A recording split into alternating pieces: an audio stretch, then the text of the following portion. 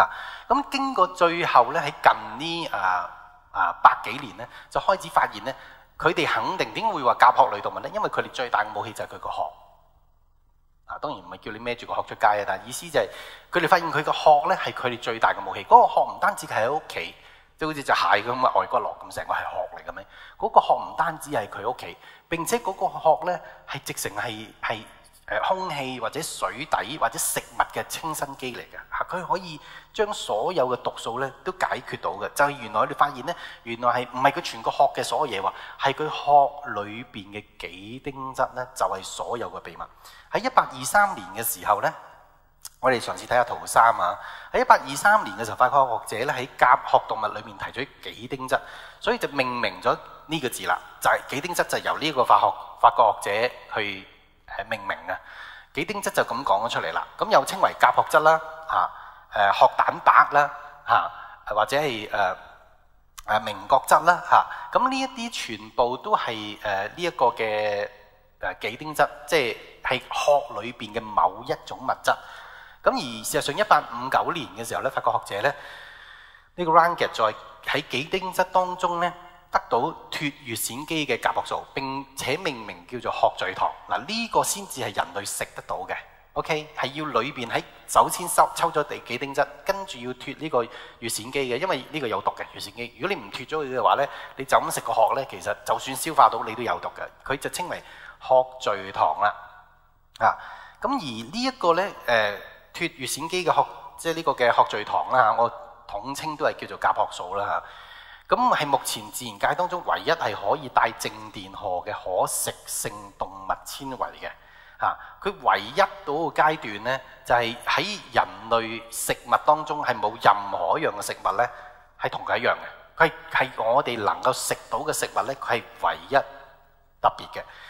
咁亦係因為乙酰基係有毒嘅，咁所以咧基本上甲殼素嘅成分係以咧脱乙酰基嘅程度咧去定佢優良定唔優良，呢個係第一步嘅。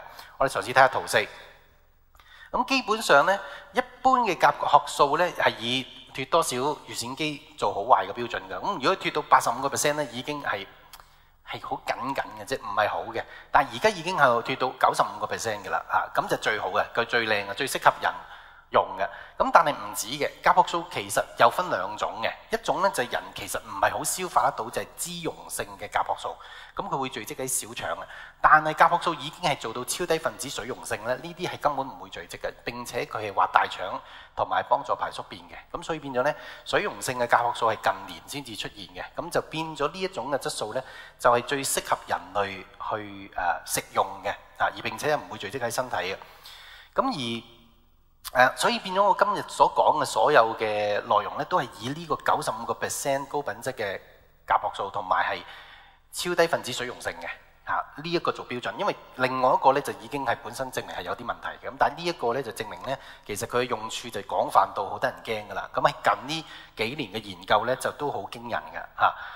咁而佢哋發現就係呢啲優質嘅甲殼素咧，係能夠將使係甲殼類動物長壽、防污染、防氣候、防環境、防影響力嘅誒、呃非常之強嘅生命力嘅秘密，就係佢啫，就係佢噶啦啊！咁而所以咧喺一九九一年咧，美國歐洲嘅醫學嘅誒醫學界同埋營養食品研究機構咧，就將呢種嘅發明稱為人類必須嘅五大生命元素嘅第六位。第六樣，即係除咗五大之外，佢係第六樣。邊五樣邊個想知？蛋白質、脂肪、碳水化合物、維他命同埋礦物質。即係話佢淨係甲殼素一個可以匹敵所有維他命加埋。咁樣會講俾你聽點解？淨係一個甲殼素可以匹敵所有礦物質加埋，佢係排第六嘅。我哋睇下誒圖尾。咁所以一九九一年咧就誒誒、所以變咗咧呢一個現時咧係誒係誒喺唯一係日本。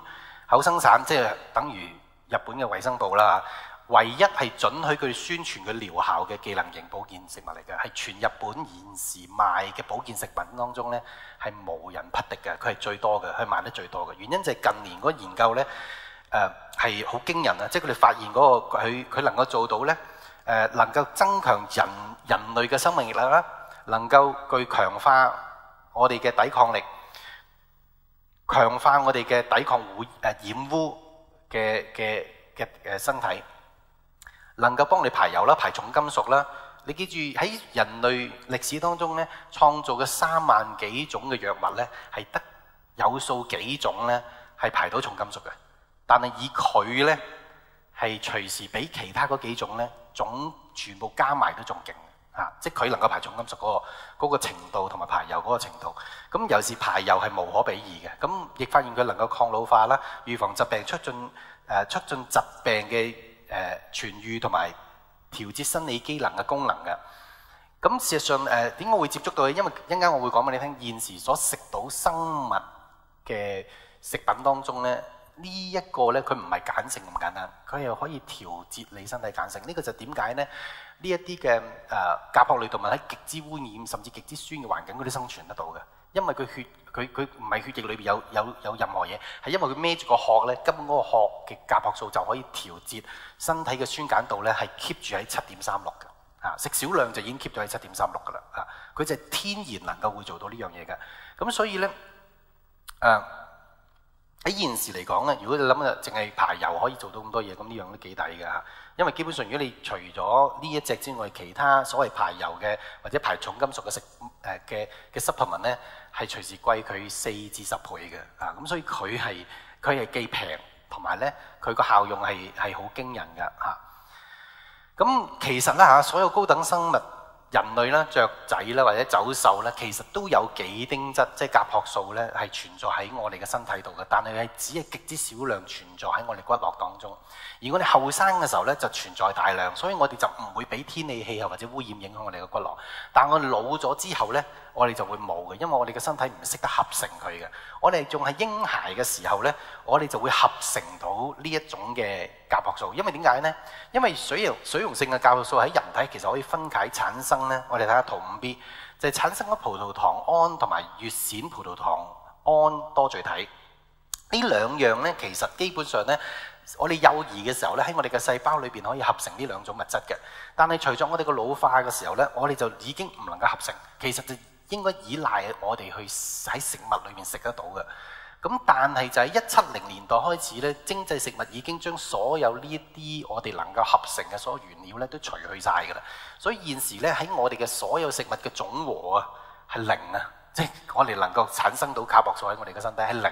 所以我哋係一定要食入去嘅。呢個就亦係點解一九九一年咧佢哋定為咧呢一個係我哋人類生命需要嘅第六個元素就係咁解啦。咁亦係因為我哋年紀大咗咧，我哋慢慢咧喺骨骼裏邊咧就缺乏咗呢一啲咧，咁所以我哋就好多骨病。我哋會，我哋除咗氣候變，除咗污染，我哋會痛，我哋會老化，我哋會聚積好多嘅嘢。原因咧就係我哋細個嘅時候有呢樣嘢，我哋老咗咧就冇咗啊！但係我哋又食唔到入去喎。咁所以咧就點解會出現咁多嘅我哋講嘅衰老嘅問題啦？嚇！咁而事實上咧喺下個禮拜我哋會講啦關於精製食物裏面嘅一啲嘅問題，咁我哋又會講另外一啲嘅食物俾大家知道啦。嚇！咁所以呢兩種物質其實咧我哋係係冇嘅。嚇！即係冇辦法，冇辦法攝取得到嘅嚇。你只係越嚟越少嘅啫。誒，即係緊剩餘嘅嘢慢慢去用，咁用到冇咧，最尾咧，你你嘅你嘅身體嘅抵抗力同埋個生命力咧，就就冇噶啦。咁誒、所以呢種人類要食嘅動物性嘅帶正電荷嘅人類，即係可以食嘅動物性嘅纖維素咧，其實佢經過研究之後，其實佢誒點樣能夠喺身體裏面產生咁咁好嘅功效呢？其實呢一個唔誒已經其實喺甲殼類動物身體就已經產生呢個功效嘅。不過喺人類身體呢，就喺研究嘅時候就發現呢，原來對人類身體有調節同埋排毒嘅功效嘅嚇誒。而呢種功效呢，就係連維他命同埋礦物質咧都做唔到嘅，就係乜嘢呢？誒，我哋睇下圖六，圖六第一咧，佢能夠做調節嘅功效。啊！